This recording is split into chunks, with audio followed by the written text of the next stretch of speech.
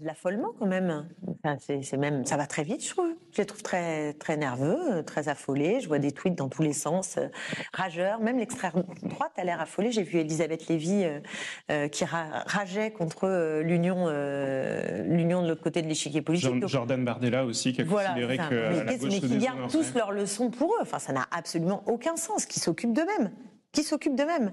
Et, et, si En Marche est en difficulté, euh, qui réfléchissent un peu euh, à la violence sociale de la politique qu'ils ont soutenue, qu'ils ont menée, euh, au mépris effroyable du président de la République, qui réfléchissent un peu à ça, pour comprendre pourquoi, à un moment donné, aussi la percée qui est la nôtre, elle trouve un si grand écho dans la société française. C'est parce que la politique de casse sociale et de déni démocratique, les Français n'en peuvent plus, en ont marre aussi hein, de ce duel Macron-Le Pen, Macron-Le Pen. Mmh ça fait depuis 2002 qu'on nous joue un peu cette espèce d'assurance vie pour le pouvoir en place euh, grâce à l'extrême droite. C'est un jeu très